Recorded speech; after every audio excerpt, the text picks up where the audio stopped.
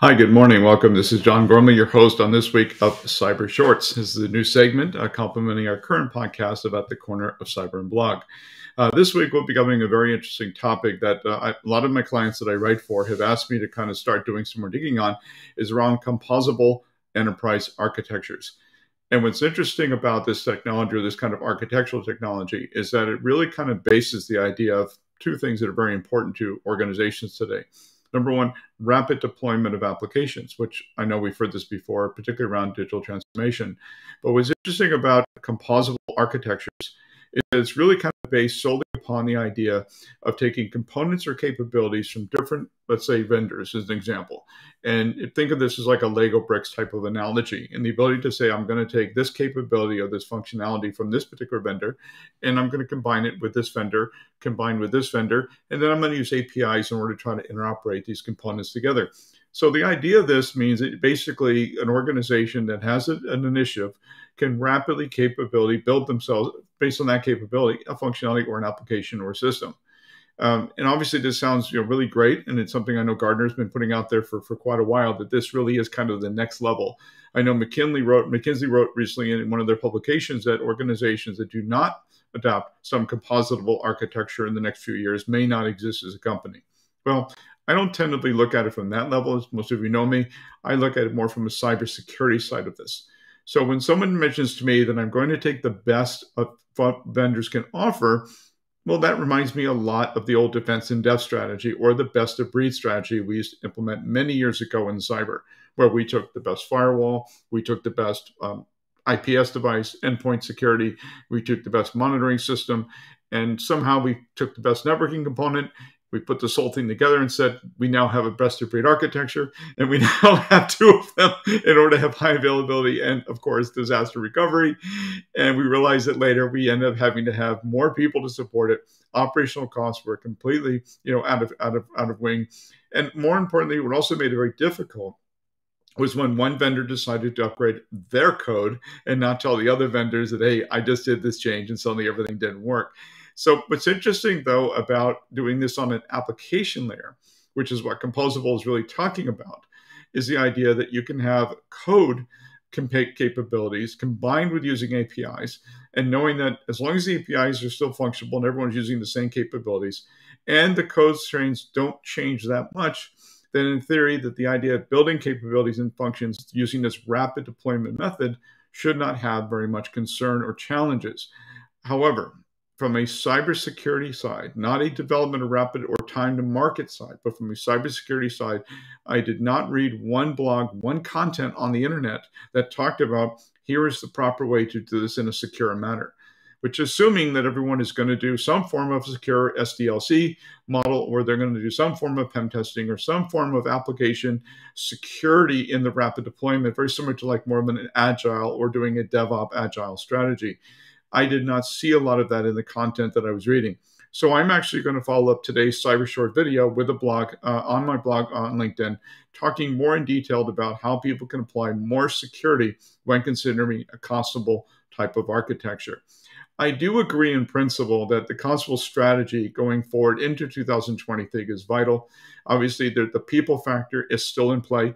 Getting access to you know experienced resources anywhere in the world, consistent resources that know or have experience in, in application development of software engineering is still a challenge. But in parallel to that, the cybersecurity market also has the same parallel challenges as well as finding qualified people to work in SecOps, DevOps, and now app dev security uh, as well. So I would caution organizations that obviously are considering looking at composable strategies. Many of them have already done so, maybe in more of a greenfield opportunity. Sure, it does it does make some sense. But what more importantly, what I did not again see, as I mentioned earlier, was there didn't seem to be a whole lot of cybersecurity DNA built into this. Uh, and that really is obviously causing concern. I, have been around the space as many as you've been for, for quite a many years. And I do remember defense in depth strategies and security. I do remember people going through best of breed. And then I went back to where I remember people were going all in one. And I think this strategy is interesting because it does not advocate for all in one. It advocates for getting the best capabilities from different vendors and utilizing an API structure in order to make the interoperation work. Ugh. Well, so I guess in the end of the day, it's really going to come down to is do you really need the application out that quickly? Are you expecting the application to survive after you have done the deployment? And most important of all, will this particular rapid application have any imbalance on your current compliance mandates?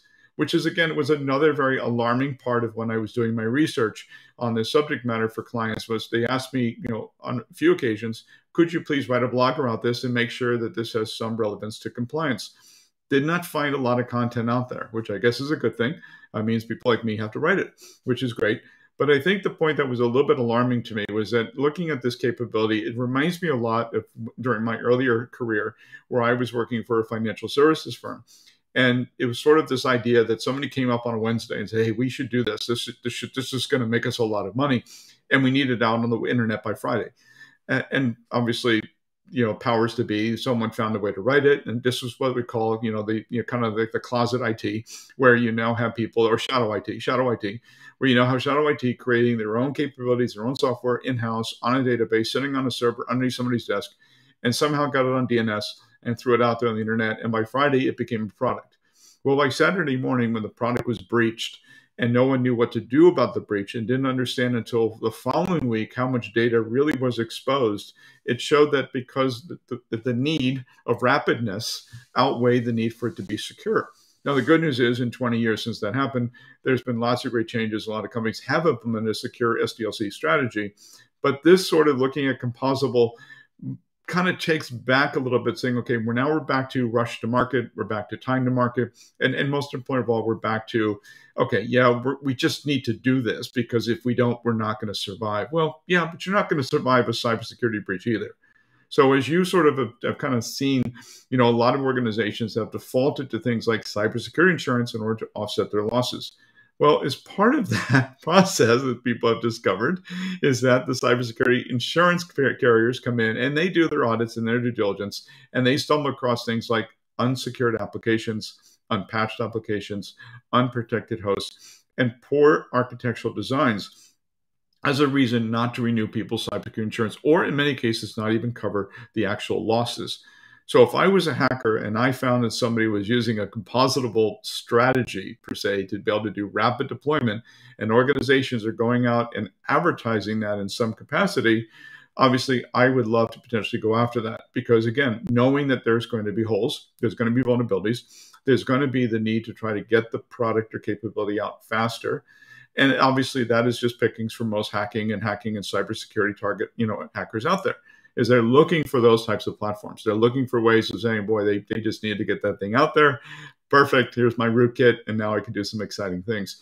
But I guess you know, the lesson we learned here is that it, have we moved point in 2023 with Web 3.0 coming, obviously blockchain, you know, coming in a very big way to a lot of you know capabilities in firms uh, globally, and of course, you know, if you've ever vacationed in Northern Virginia and you see the 31 data centers that are being built by Dulles Access Road, you can tell that there is going to be a boom of growth in 2023.